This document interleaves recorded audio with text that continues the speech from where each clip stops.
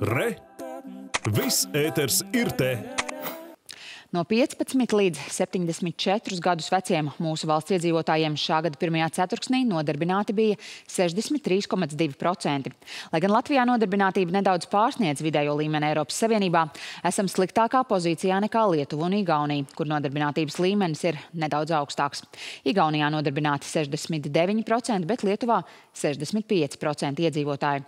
Ekonomists Mārtiņš Āboliņš to skaidro ar zemo vakcinācijas aptveru, kuras dēļ rudenī un ziemā Latvijā bija bija lielāki ierobežojumi, un tas savukārt ietekmēja nodarbinātību pakalpojumu nozarē. Pašlaik vērojams, ka ekonomika sāk atkopties. Izaicinājumi ekonomikā, kas rodas dēļ uh, kara Ukrainā, ar tiem mēs tiešām vairāk saskarsimies gada otrajā pusē. Pirmkārt, maisiņcības sāka saņemt augstākus rēķinus. Līdz ar to ienākums, visticamāk, tik ātri neaugs un būs jāpārskata daudziem ar savu izdevumu, kaut kur tērēsim mazāk.